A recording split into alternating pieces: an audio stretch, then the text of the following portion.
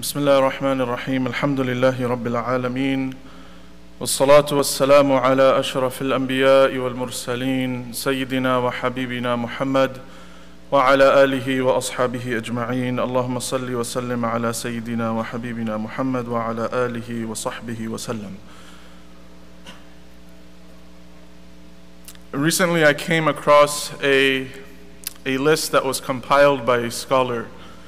And the list was a compilation of ahadith and ayat of Quran in which the virtues and blessings and glad tidings are given to those who are particular about their morning prayers. Now, these ahadith aren't something out of the ordinary. They're probably ahadith and ayat of Quran that we've heard before. But the mere compilation of them just brought such a great emphasis uh, regarding the morning prayer as well as the night prayer that I wanted to share it with everyone today. It's relevant in the sense that the morning prayer is probably the most difficult for us, for students, for adults, for men and women, those who have memorized the Quran, those who are scholars of deen, and those that aren't alike. The struggle for waking up in the morning uh, is something that everyone goes through.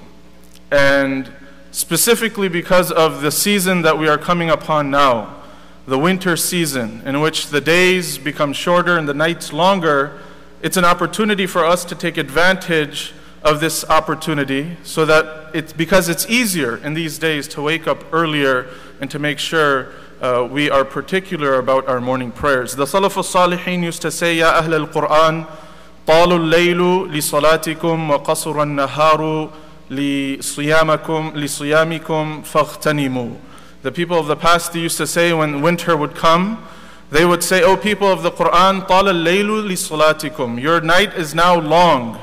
Your night has now been has become long لصلاتكم for your salawat, for your recitation of Quran.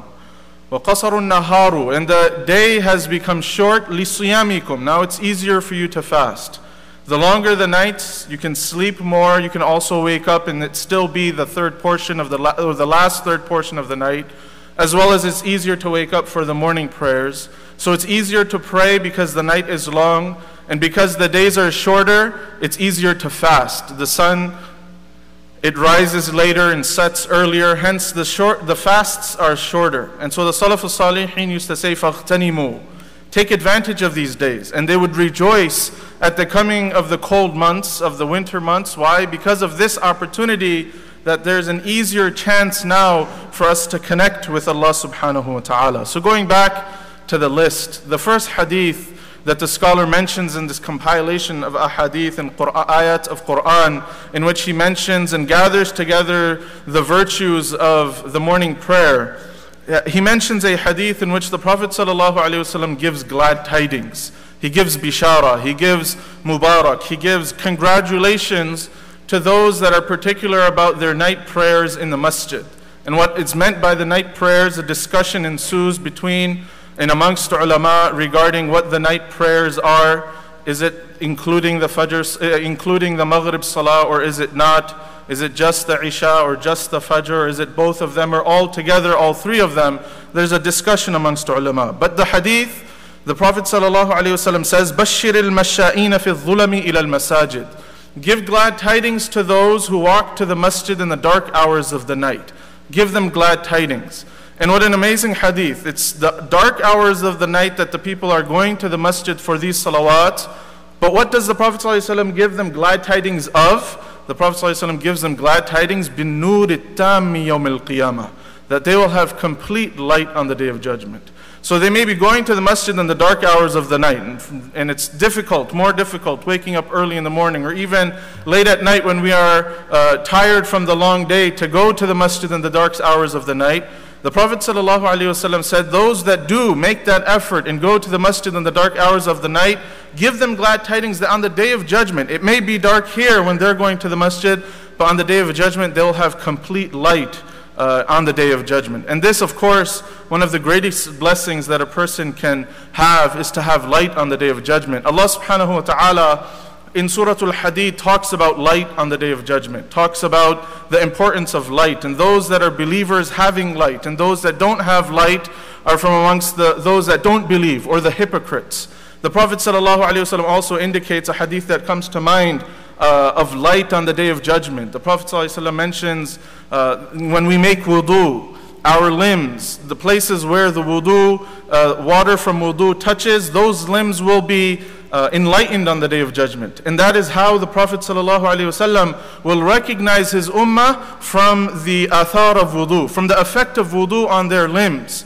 Uh, the Prophet ﷺ gave the example of those horses that may be all dark. They may be dark brown or black colored, but their hooves are white. Sometimes they have marks on their head of white. The Prophet ﷺ said, oh, like that on the day of judgment, my ummati, the person from my ummah, I will recognize him through the light from their limbs, the, those limbs where the water would touch, where, we, where they made wudu. غُرًّا مُحَجِّلِينَ مِنْ آثَارِ الْوُضُوء So light being from uh, amongst the things, of course, that we want to have on the day of judgment. Allah subhanahu wa ta'ala in Surah Al-Hadid, ayah, verses 12 and onwards, uh, for a few ayahs, He describes the day of judgment uh, and, and, and regarding the light uh, on the day of judgment, how important light will be on the day of judgment. Just to set the scene, imagine it as the default, uh, as, as darkness. The default state is that there is darkness on the day of judgment.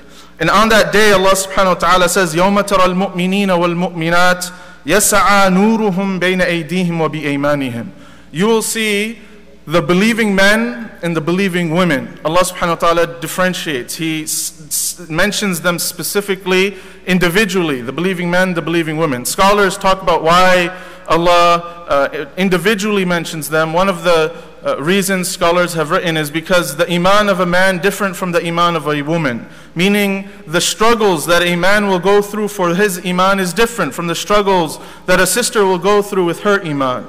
And those things that may fluctuate his iman lower or higher his iman are different from those things that will fluctuate the iman uh, of a female. And so Allah honors both men and women in the Quran by mentioning them differently, by uh, individually mentioning that the believing men and the believing women. Allah honors their struggle, honors their iman.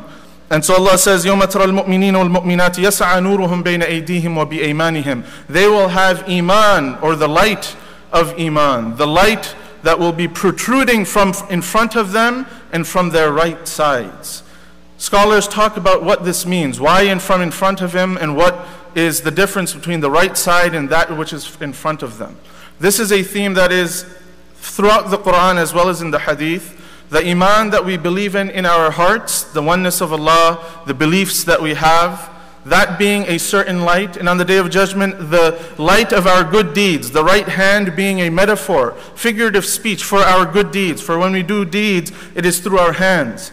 And so Allah subhanahu wa ta'ala says the light from within and the light of the right hands, meaning the light of iman and the light of their good deeds. So both are very important. Both are very, they need to supplement one another. Not, not just the iman of the inside, but with the good deeds. And good deeds without iman also something which is useless. Hence, the Prophet here in the Quran, Allah talks about both lights. The light of iman, the inner iman, as well as the light of the good deeds. As well as in Surah Al-Haqqa, Allah subhanahu wa ta'ala talks about when a person will receive their book of good deeds, those that will receive it in their right hand, it will be from in front of them and in their right hands. And those that receive their book of deeds in their back, in their left hand, their book of deeds in their left hand, uh, indicating towards failure, it won't come from in front, but it will come from behind. So it will come from behind and in their left hands. And so here in this ayah, Allah subhanahu wa ta'ala is talking about light on the day of judgment for the believers coming from within as well as from their right hands, meaning the iman of their heart, as well as the iman of their good deeds. Allah subhanahu wa ta'ala then says that they will see this light in front of them. Every mu'min will have light on the day of judgment, and they will use this light to navigate their way toward Jannah and towards the bridge of Sirat. Allah subhanahu wa ta'ala says on that day, بُشْرَاكُمُ الْيَوْمَ جَنَّاتٌ تَجْرِي مِن تَحْتِهَا الْأَنْهَارُ خَالِدِينَ فِيهَا On that day, it will be called out, you know, congratulations, Mubarak, You've made it. For you are all of these gardens, Jannatun. Allah doesn't say just one Jannah, Allah says many gardens of Jannah from wherein rivers will flow from beneath. And then Allah says, Khalidina fiha. They will stay therein forever. He clears up the issue. Sometimes you know, we'll take family for a weekend, we'll get away, we'll stay maybe at a resort or a hotel, or we'll travel overseas. And young children will sometimes ask or say, I wish I could stay here forever. I wish, you know, I had so much fun uh, but it's going to come to an end. It's just a weekend, it's just a resort, it's just a few days. And sometimes even adults will think, I wish that this was my life. Just get away and have the resort and have a good time. Allah subhanahu wa ta'ala puts all of those questions to, the, to, to an end and says, Khalidina fiha. All of these gardens and all of the blessings of Jannah you will get Khalidina fiha. You're there forever. Don't worry, don't worry about not, not, not having these uh, blessings ever again. ذَلِكَ هُوَ الْفَوْزُ الْعَظِيمُ Allah says that is the greatest uh, success that a person can have, that on the day of judgment, a person will have that light. After mentioning the light of the believer, Allah subhanahu wa ta'ala then mentions the lack thereof in regards to light for those that don't believe, or specifically here in these ayat, the hypocrites. Allah says, on that day, يوم يقول المنافقون والمنافقات. Allah again individually mentions the hypocrite men and the hypocrite women. On that day, they will have no light. Allah says, they will say to those that have iman, يوم يقول المنافقون والمنافقات للذين آمنوا. They will say to those people that have light, انظرونا, wait for us. You have light, we don't have light, wait for us. The believing people will be taking the light of their good deeds and moving forward, navigating their way to Jannah. And the people with no light will call out to the believers and say, Unzuruna, wait, wait for us. Iqtabis min nurikum. Unzuruna naqtabis min nurikum. Allow for us to take from your light. Allow for us to borrow some of the light that you have. The word iqtibas in the Arabic language sometimes is used for the situation where, you know, there's a candle and there's one flame. And what can happen with one flame, that one flame can become the means of lighting up many other candles without the initial flame uh, becoming weak in any way, shape, or form. So one small flame can light up hundreds of other flames without the initial flame, uh, you know, being lessened to any degree. And so the people, they will ask, نَقْتَبِسْ مِن نُورِكُمْ They use this word that you have this light, it's like a flame. You can give it to as many people as you want, it won't lessen. Just give us some of your light. This is kind of their convincing the believing people, allow for us to take some of your light. And so these people, the believing men and women, they will be on their way to Jannah. The hypocrite men and women, they will be asking them, Unzuruna naqtabis min nurikum. Wait, let me get some of the light that you have. But as they are asking for some of the light that they have, a, an announcement will be made. And this announcement will say, Surah Al-Hadid, verse 13, قِيلَ رَجِعُوا وَرَاءَكُمْ فَالْتَمِسُوا نُورًا This announcement that will be made will say, if you want light, go back behind you and you'll find your light. If you want light, then you can go back. ارجعوا وراءكم. Go behind you, return back behind you. فَالْتَمِسُوا نُورًا You'll find light there. And this is sarcastic this is the sarcastic nature of this ayah. There is no light for the hypocrite men and believer, men and women hypocrites on that day. But Allah subhanahu wa ta'ala will just mention it to them. If you want light, then go back. Some scholars say this is Allah telling them, if you want light, then light was in the world. You could have gone back. You could go back to the world to get your light, but we know that's not a possibility. And so the hypocrite men and women, they will turn back and you know, they will believe this announcement. Where's the light for us? And they will turn back to go get their light. And as they go back, as they turn back to go get their light, they will then notice, obviously, this is not true. This will cause a separation between the believing men and women and between the hypocrite men and women. And so they will be filtered out. The men and women, believers, will be on their way to Jannah. The hypocrite men and women, they will be turned back trying to get their light They will have all turned back, and so it will create a separation between the two. And so at that time, Allah subhanahu wa ta'ala says, فَضُرِبَ بَيْنَهُمْ بِسُورٍ لَهُ بَابٍ At that time, when the two will separate, Allah will place a wall between them. Allah says, lahu bab, this wall has a door. And scholars of hadith mention and give many different interpretations and discuss about what this door, why Allah mentions there's a door there. We don't have time to go into it. But Allah mentions that there will be a wall put between them. So the believing men and women will be on their way to Jannah. And the hypocrite men and women who had gone back to get some light, they will be tricked into this and there will be then a wall put between them. After a wall is put between them, Allah subhanahu wa ta'ala says this wall, باب باطنه فيه الرحمة وظاهره من قبله العذاب. Of course, on the side of the believers, that wall is all rahmah. On the side where all the believers are, there's blessings of Allah, there's the mercy of Allah. On the other side of the wall, Allah subhanahu wa ta'ala says it's nothing but punishment. So on that side of the wall where there's hypocrites, there is punishment. On this side of the wall, there's rahmah and the blessing and the mercy of Allah subhanahu wa ta'ala. It doesn't end there. Allah subhanahu wa ta'ala then tells us of a conversation that takes place between the believers and the hypocrites. The hypocrites will then go to the wall and they will call out, as Allah mentions in the next ayah. يُنَادُونَهُمْ أَلَمْ نَكُمْ مَعَكُمْ They will call out and say, O believing men and women, أَلَمْ نَكُمْ مَعَكُمْ Weren't we with you in the world? Alam nakum ma'akum? We were with you in the world. We, we, we lived together. We lived in the same area. We went to the same masjid. We performed hajj together. We read Quran or we studied together. We went to the same school. Alam nakum ma'akum? Weren't we with you in the world? You know, how come you're on that side of the wall and we're on this side of the wall? And so the believing men and women will then answer back and they will say, قَالُوا bala. Of course, we were together, but وَلَكِنَّكُمْ فَتَنْتُمْ أَنفُسَكُمْ وَتَرَبَّصْتُمْ وَارْتَبْتُمْ وَغَرَّتْكُمُ الْأَمَانِيُّ In this ayah, Allah subhanahu wa ta'ala mentions four reasons why the, believer, the, the believers are on this side of the wall, the side of rahmah, and the hypocrites are on the other side of the wall. the believing men and women will then answer out to their, to their question Weren't we with you in the world? They, say, they will say, Yes, we were together in the world, but four reasons why you're on that side of the wall and why, why we're on this side of the wall. The first reason, fatantum anfusakum. You deceived yourself. You put yourself into trials and tribulations. We know the word fitna, fatantum anfusakum. you let the fitna of the world, the tribulations, the trials, the money, and all of these other things, you let that affect your heart.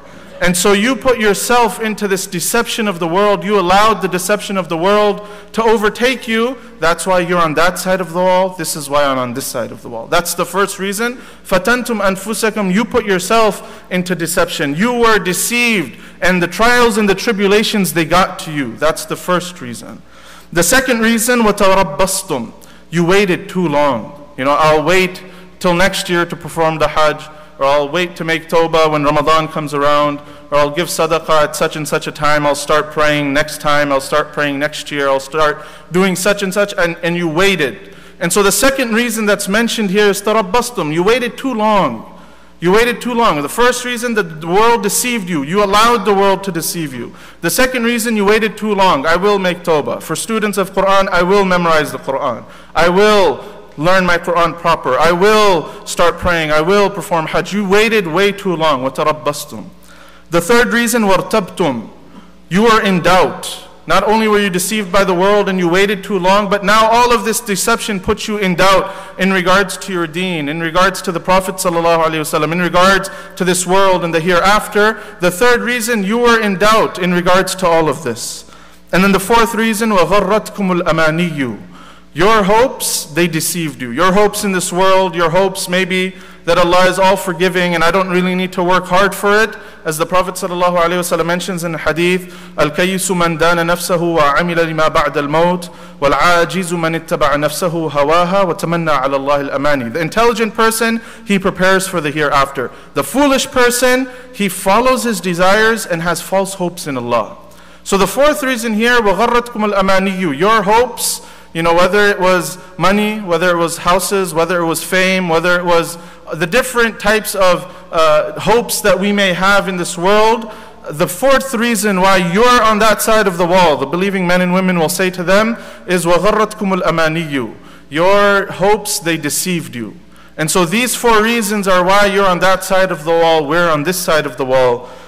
Hatta ja amrullah. While you're waiting and while you're being deceived by the world and while you have hopes in the world and while you doubted the deen, while all of this was happening, ja amrullah. The hukm of Allah came. The command of Allah came. It's the time for you to go. It's the end of your life. And so, though you had good intentions and you thought maybe you would do something, but now, because the amr of Allah, the hukm of Allah, your time here on this world was over, that's why now you're on that side of the wall, and that's why we're on this side of the wall. وَغَرَّكُمْ بِاللَّهِ الْغُرُورِ Allah subhanahu wa ta'ala ends the ayah by saying, The deceiver, meaning shaitan, the deceiver deceived you regarding Allah. The shaitan, he deceived you regarding the rahmah of Allah, the deen of Allah. Shaitan, he deceived you and you allowed him to deceive you. Allah subhanahu wa ta'ala says, on that day, فَالْيَوْمَ لَا يُؤْخَذُ مِنْكُمْ فِدْيَةً Nothing will be accepted from on that day from these people as a source of payment, as a penalty to try to, uh, you know, uh, to try and negotiate their way out. On that day, there's no fidya. On that day, there's no payment. So in this ayah, Allah subhanahu wa ta'ala talks about those that have light on the day of judgment.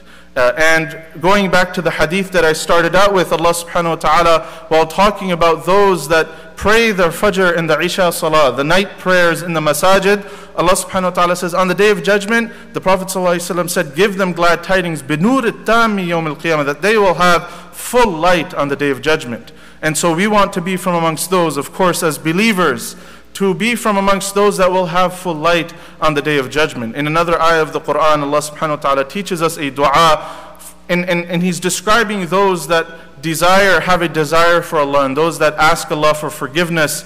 At the end of Surah, at the end of the 28th juz, Allah subhanahu wa ta'ala mentions this dua, رَبَّنَا أَتْمِمْ لَنَا نُورَنَا Oh Allah, fulfill for us our light.